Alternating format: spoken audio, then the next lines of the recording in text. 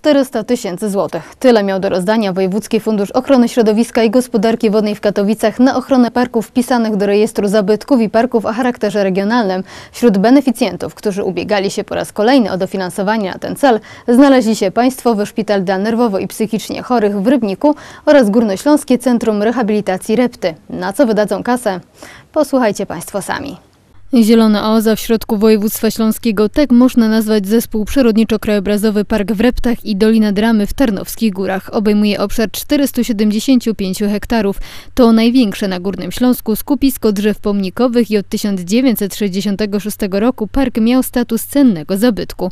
Utrzymanie takiego terenu nie jest jednak ani łatwe, ani tanie. Nie wiedzą to najlepiej szefowie Górnośląskiego Centrum Rehabilitacji Reptem, dlatego też systematycznie korzystają z pomocy Wojewódzkiego Funduszu Ochrony Środowiska Środowiska i Gospodarki Wodnej w Katowicach.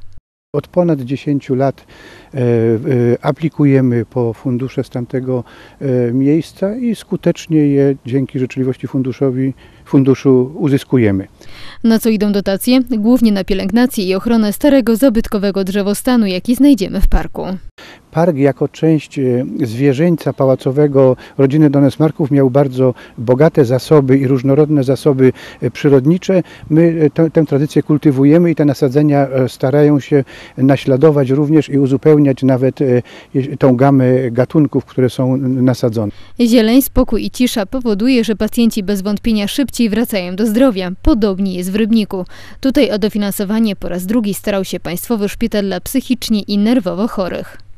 W poprzedniej edycji wycięliśmy tutaj na terenie parku około 170 y, drzew, 130 y, drzew poddaliśmy pielęgnacji. Na terenie szpitala znajduje się park z ponad stuletnimi okazami, stąd cały teren wpisano do Krajowego Rejestru Zabytków Przyrody.